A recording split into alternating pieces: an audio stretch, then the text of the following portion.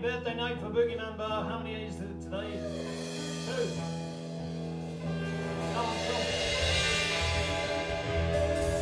Okay, we're going to kick off tonight. We hope you enjoy it. If you don't,